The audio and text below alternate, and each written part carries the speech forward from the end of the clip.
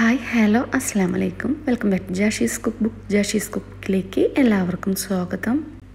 വളരെ കുറച്ച് സമയം കൊണ്ട് വിരലിൽ എണ്ണാവുന്ന ചേരുവകൾ വെച്ച് ഈസി ആയിട്ടുണ്ടാക്കാവുന്ന കിടിലൻ ടേസ്റ്റിലുള്ള റെസിപ്പികൾ ട്രൈ ചെയ്യാനായിരിക്കും എല്ലാവർക്കും താല്പര്യം അല്ലേ? വെറും പത്ത് മിനിറ്റ് കൊണ്ട് ഉണ്ടാക്കാവുന്ന വായിലിട്ടാൽ അലിഞ്ഞു പോകുന്ന ടെക്സ്ചറിലുള്ള ഒരു അടിപൊളി കേക്കിന്റെ റെസിപ്പിയുമായിട്ടാണ് ഇന്ന് ഞാൻ വന്നിട്ടുള്ളത്. കുട്ടികൾക്ക് പോലും ഈസി ആയിട്ട് ഉണ്ടാക്കിയെടുക്കാൻ പറ്റുന്നതാണ് ഈ കേക്ക് എന്നാൽ ടേസ്റ്റ് ആണെങ്കിലോ സാധാരണ സ്പഞ്ച് കേക്കിനേക്കാളൊക്കെ ഒരുപാട് ഡിഫറെന്റ് ആണ്. അപ്പോൾ റെസിപ്പിയിലേക്ക് കടക്കുന്നതിന് മുന്നേ ആദ്യമായിട്ട് എന്റെ വീഡിയോ ആരെങ്കിലും കാണുന്നുണ്ടെങ്കിൽ നിങ്ങൾക്ക് എന്റെ റെസിപ്പി ഇഷ്ടപ്പെട്ടെങ്കിൽ പ്ലീസ് ഒന്ന് സബ്സ്ക്രൈബ് ചെയ്ത് സപ്പോർട്ട് ചെയ്യാൻ മറക്കരുതേ. ഒപ്പം തന്നെ എന്റെ എല്ലാ പുതിയ വീഡിയോസും കാണാനായി ബെല്ലൈക്കൻ കൂടെ പ്രസ് ചെയ്ത് നോട്ടിഫിക്കേഷൻ കൂടെ കിട്ടുന്നുണ്ടെന്ന് ഒന്ന് ഉറപ്പുവരുത്തണേ. ഇതിലേക്ക് മെയിനായിട്ട് അഞ്ച് ചേരുവകളാണ് വേണ്ടത്. അതിൽ നാലെണ്ണം ഞാനിവിടെ എടുത്തു വെച്ചിട്ടുണ്ട്. അതെന്തെല്ലാമാണെന്ന് നമുക്ക് നോക്കാം. മൂന്ന് മുട്ട നൂറ്റെഴുപത് ഗ്രാം അതായത് ഒരു കപ്പ് തൈര്. തൈരിന്റെ അതേ അളവിൽ ക്രീം ചീസ് പിന്നെ ആവശ്യത്തിന് പഞ്ചസാര. ആദ്യം തൈരും ക്രീം ചീസും പഞ്ചസാരയും കൂടെ നമുക്ക് നല്ല പോലെ ഒന്ന് മിക്സാക്കി എടുക്കാം.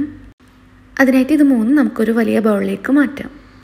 ക്രീം ചീസിന് പകരം ട്രയാങ്കിൾ ചീസ് സ്പ്രെഡബിൾ ചീസ് ഇതിലേത് വേണമെങ്കിലും എടുക്കാം കേട്ടോ. അധികം പുളിയില്ലാത്ത കട്ട തൈരായിരിക്കും ഇതിലേക്ക് നല്ലത്. തൈരിലെ വെള്ളം നല്ലപോലെ വാർത്തതിന് ശേഷം വേണം ഇതിലേക്ക് ചേർക്കാൻ പഞ്ചസാരയും തൈരും ചീസൊക്കെ നല്ലപോലെ മിക്സായി വന്നാൽ പിന്നെ നമുക്കിതിലേക്ക് മുട്ട ചേർക്കാം. നിങ്ങൾക്കിത് വേണമെങ്കിൽ ചീസ് ഒഴിവാക്കിയിട്ട് ഉണ്ടാക്കാം കേട്ടോ. പക്ഷെ ചീസ് ചേർക്കുകയാണെങ്കിൽ ശരിക്കും ഒരു കേക്കിന് ജാപ്പനീസ് ചീസ് കേക്കിന്റെ ഒരു ടേസ്റ്റ് കിട്ടും. ഞാൻ മുന്നേ മൂന്ന് തരം നോബേക്ക് ചീസ് കേക്കും പിന്നെ വിവിധ തരം സ്പോഞ്ച് കേക്കും ആവിൽ വേവിച്ചുണ്ടാക്കുന്ന ചീസ് കേക്കും ഒക്കെ ഷെയർ ചെയ്തിട്ടുണ്ട്. അപ്പോൾ അതൊക്കെ കാണാൻ താല്പര്യമുള്ളവർ താഴെ ഡിസ്ക്രിപ്ഷൻ ബോക്സ് ഒന്ന് ചെക്ക് ചെയ്യാം കേട്ടോ. ഇനി നമുക്കിതിലേക്ക് മൂന്ന് ടേബിൾ സ്പൂൺ കോൺഫ്ലോർ ഒന്ന് അരിച്ച് ചേർക്കാം. കട്ടകളില്ലാതെ ഇതും നല്ല പോലെ ഒന്ന് മിക്സാക്കി എടുക്കാം. ഇനി ഞാൻ ഇതിലേക്ക് ഫ്ലേവറിനായിട്ട് ഒന്നും തന്നെ ചേർക്കുന്നില്ല കേട്ടോ.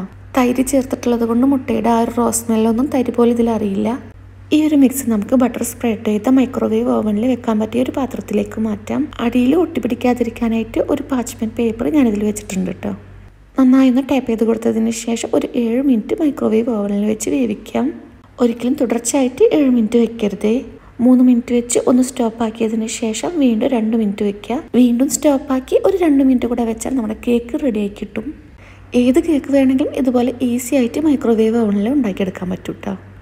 എല്ലാ പ്രാവശ്യവും സ്റ്റോപ്പ് ആക്കുന്ന സമയത്ത് ഓവണൊന്ന് ഓപ്പൺ ചെയ്ത് നോക്കുക കേക്ക് വെന്തോന്ന്. പല ഓവണിലും പല ടെമ്പറേച്ചർ ആയിരിക്കും. അപ്പോൾ കൂടുതൽ നേരം ബേക്ക് ചെയ്താൽ ചിലപ്പോൾ ബിസ്ക്കറ്റ് പോലെ കേക്ക് ഹാർഡായി പോകും. ഓവൻ ഇല്ലെങ്കിൽ ആവിയിൽ വെച്ചോ നോൺ സ്റ്റിക് പാനിൽ നേരിട്ടൊഴിച്ചോ വേവിച്ചെടുക്കാം.